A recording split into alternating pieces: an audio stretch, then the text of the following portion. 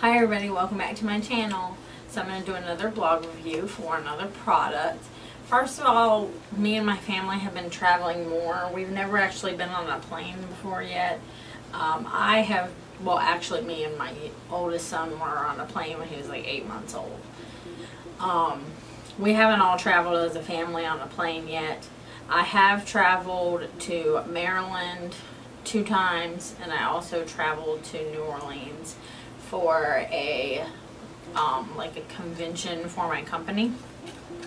So anyways, on the way back we got a bunch of like swag and some of the other posh ladies were like alternating stuff in their suitcases a lot to try to make it weigh the correct amount for a carry-on or so on and so forth.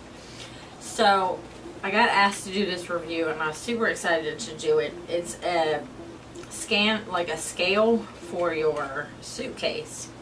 So it says it has a large LCD screen. It's right there. Um, it has a backlit function and it goes up to like 110 pounds.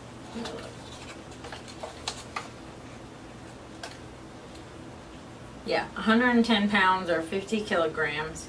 Automatic weight lock for one minute. Unit conversion, easy to read, highly accurate. Okay, so pretty much it's got this strap on it. And this is what you hook on to your suitcase to weigh it. And then it's got the screen here, and the screen here is going to show you. So you press the button to turn it on, and then you put your suitcase on it, and oops, turn it off. I think I have to wait for it to, okay. So it says zero. Now I'm holding it down, I'm pulling on it, like a suitcase would be hanging on it. And it says 0.40 kilograms. So I'm sure you can change it to um, pounds as well. It says there's a conversion.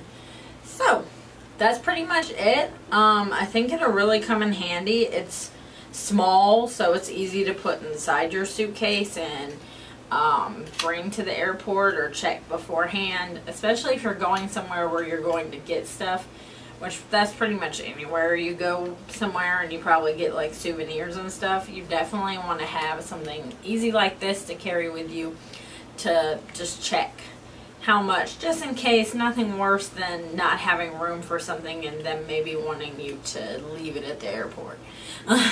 So if you have any questions um, ask them down below. I'm gonna leave the link to this awesome thing and that's about it. Thank you for watching my channel. Give me a like and don't forget to subscribe so you never miss another video.